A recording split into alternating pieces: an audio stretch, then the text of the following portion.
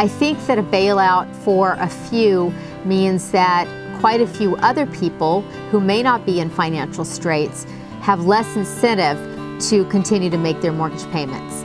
And for example, on a radio show, I heard a man call in, and this was from another state, not California, but he had purchased a house a couple of years earlier for 180,000 and he said the house next door to him which was identical was now selling for 90,000 it was a foreclosure and he could afford to make his payments he said but he didn't think it was fair. Why should he you know, continue to make his payments, and he wanted to know if he could get a reduction of principal from his bank.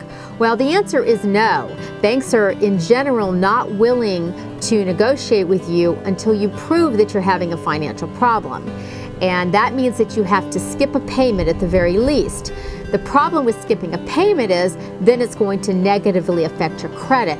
So it's going to make it harder in the future for you to get a loan. It could affect the interest rates on your credit cards. It's going to cause other problems for you down the road. So I think when Congress talks about a bailout for homeowners, I think they could be leading themselves into a situation where our economy is much worse than it currently is, and that more foreclosures end up coming to the fore. There is something called the HOPE program, and the HOPE program is supposed to assist homeowners with making their payments and knocking off some of their principal. The problem with the HOPE program that I find is that you have to qualify for the loan. So in other words, you can't just say, I'd like to have a reduction of principal, I would um, like to have my payments reduced, but you actually have to provide documentation to show that you can qualify for that loan, that you can pay that loan. And there are a lot of people who, for legitimate reasons, cannot provide that documentation. So it makes it very difficult. I think there are a very limited number of people who would be able to take advantage of the HOPE program or any other program offered by a bank. In fact, it is my experience that the banks who are allowing some sort of renegotiation of loans, they don't just say, okay, we will make your payment lower or we will knock off principal. They want supporting documentation. They want to see your tax returns. They want to see your bank statements. They want to see that you are able to afford that new payment. And some people, for legitimate reasons, just don't have that documentation to support the income that needs to be on that piece of paper.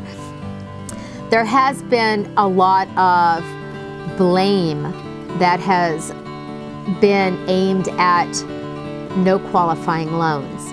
But no qualifying loans are not the cause of this financial crisis or the cause of the foreclosure crisis. We've had these loans for decades without any problems. So for people to say that it's because of these types of loans and that's the reason we're in the, the situation we're in, that's just plain untrue. It's disingenuous. They are an excellent tool. There are many, many people who are self-employed, who maybe got a, recent raise and they're unable to um, show that they have the, the income for two years, but they do have the income. They're unable to jump through the hoops that are required on the paperwork to get a loan that's fully documented. It's kind of interesting, my story when I bought my first home. I was a single mom I had a newborn baby. I had no job. And I was not a real estate agent at the time. And luckily, they had something called no qualifying loans. And so I was able to essentially get the property, get my first home without any sort of income verification. And I did have to put down 25% because at that time you had to put 25% down in order to get a no qualifying loan. And I specifically looked for a house that had a setup for a guest house so that I could rent the very back part of the property and live in the front part of the property. Now I had been renting an apartment for $500 a month at the time. I put my 25% down and I promptly rented out the guest house of the property and so someone lived in the back and they were paying 500 a month to me. And then I lived in the front of the property, which I had a four bedroom house for myself and my daughter. And my entire payment ended up being 300 a month. So I was paying less than I had been paying in an apartment, and yet I technically didn't qualify for the loan. First year passed in that house, and the value doubled. I felt like it was a way to build wealth and I wanted to help other people realize the American dream. And I got my license and I've been a real estate agent ever since. And I love my job because I really feel that I'm helping people.